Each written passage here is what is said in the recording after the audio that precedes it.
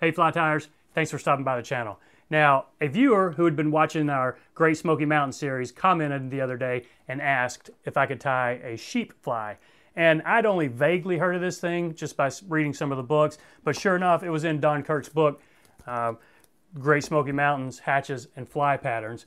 So I said, sure, why not? It's not difficult to tie. It's kind of ugly, but in a cool, cool kind of way. But I did a little bit of research, and this guy was created by Newland Saunders. This guy right here, see what I'm doing? I'm learning some editing. Newland Saunders created this thing. This guy was kind of a legend in mountain fly fishing. Born in 1922, passed away in 2012, but in World War II, he was a sailor, went to war in the Pacific in 1945. I'm a former sailor. It's kind of, kind of impressive to me. Now, he created this fly. Some of the other legends swore by it. Take a look at this guy, Cap Weiss.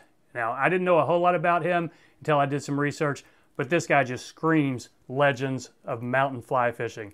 Look, he's wearing a, a fedora. He's got uh, the wicker creel, really old school. But before we get into the fly, one more really cool picture.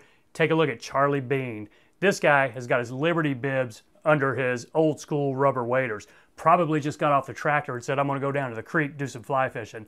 So it's really kind of cool tying these old flies that our forefathers of the sport came up with that they tied and they fished. It's, it's really interesting to get into this history and to carry on some of the tradition. So tonight's fly, thank you, John, for recommending the sheep fly. I think you're gonna like it. It's a pretty cool fly, albeit a little bit ugly, but from what I hear, the thing works very well. So let's get into it. So there it is in the vise. I'm gonna be tying this on a size 12 it is a 2x long nymph hook.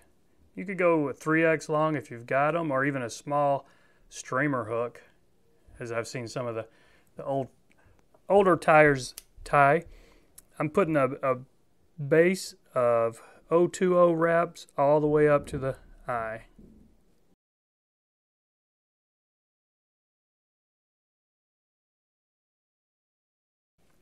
And for the thread, I've got a brown 70 UTC. I'm going to put a dam in the back, take it up to the front, lock it in, then take it back to the tail.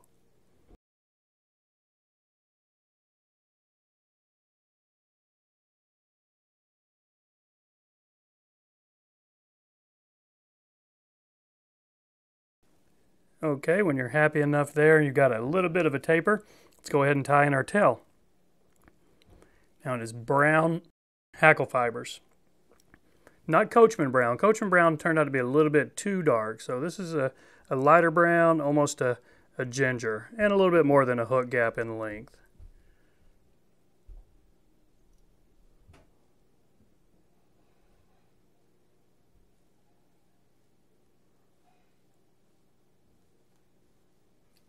Okay, let's go ahead and snip off this excess here.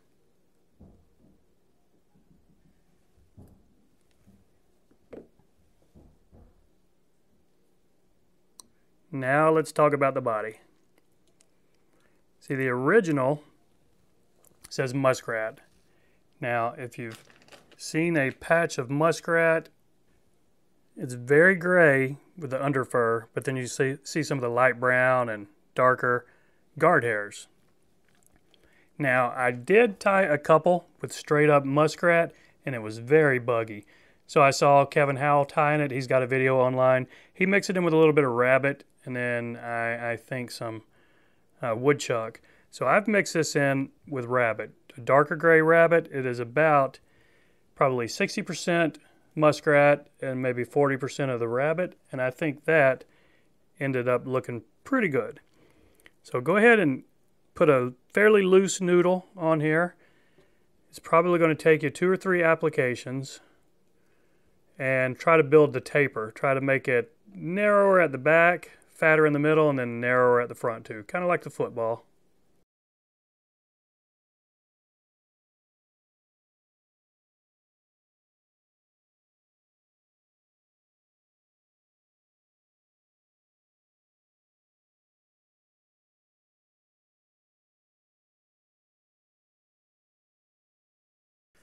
Okay, when you're happy enough with your football shaped buggy looking body, now let's worry about our hackle. another brown one. And now I've seen this one tied. In the few pictures you can see of this fly out there, you'll see it tied a few different ways.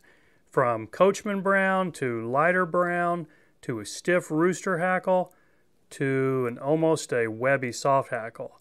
So I'm using a, a rooster hackle. It's not too stiff, but it's certainly not a, a webby soft fly hackle. And this is kind of how how I saw Kevin tie it. He used a, a stiffer hackle as well. So let's catch this in with three or four wraps. I'm going to pull that back, just really lock it in before I trim off this tip right here.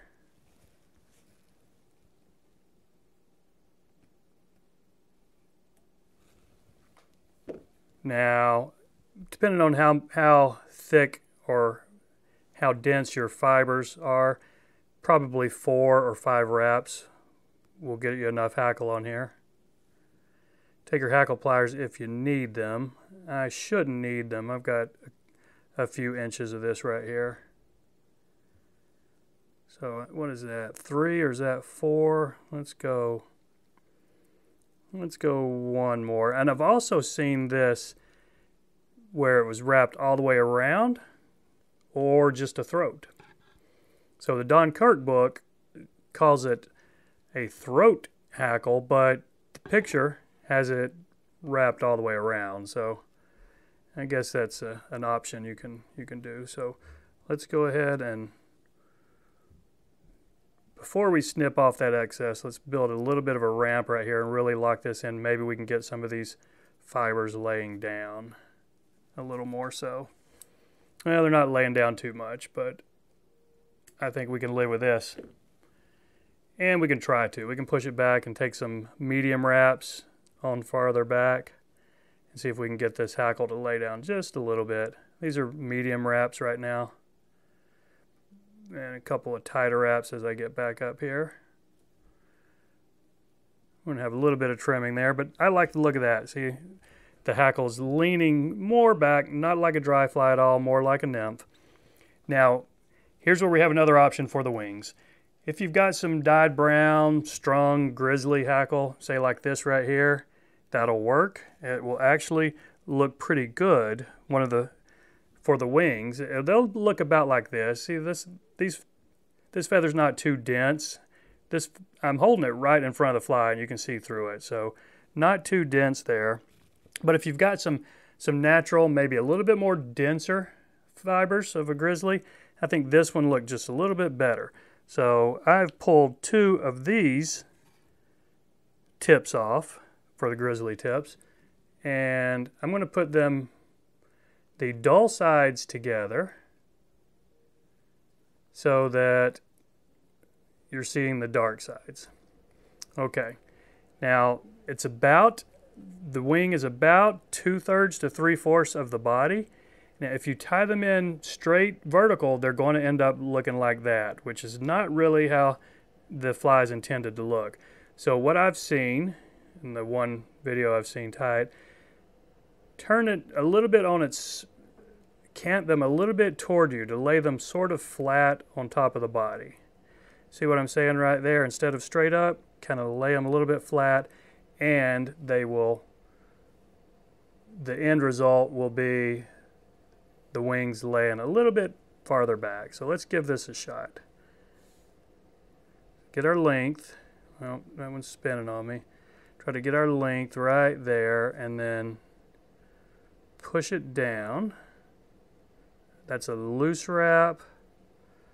There's a medium wrap and that's tighter. Let's see how they look.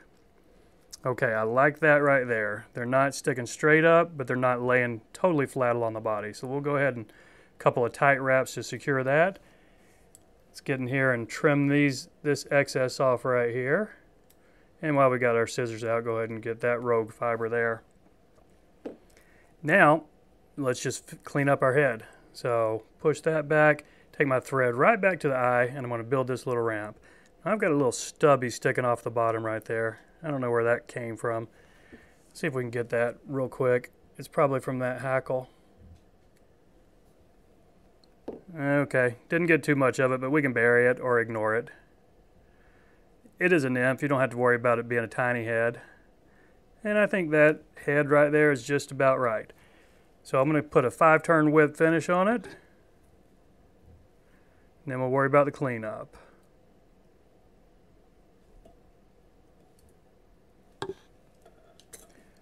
So you might be tempted to get in here and start trimming away all these guard hairs, but I'd probably advise against that. I'm going to trim off this one hackle that's going really askew right there that I did not get, but let's go ahead and get that. So I'm going to leave the guard hairs in there, fish it just like it is. I'll put a drop of head cement before I call it done, but there you have it, the sheep fly, another Smoky Mountain Appalachian fly that I've never fished, but I hear it can be an amazing pattern, so I'm going to give it a shot. Thanks for watching, folks. I hope you give it a shot too.